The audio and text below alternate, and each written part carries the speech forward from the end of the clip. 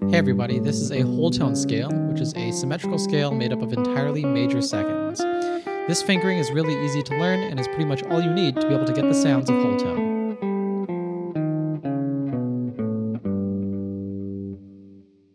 As said before, the whole tone scale is just made of major seconds. So one way that you can make a whole tone scale is to start on a note and just climb in major seconds.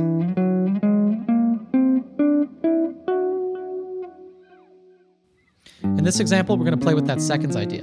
So we can take our first fingering from before and move it up in seconds, and it will give us the exact same scale.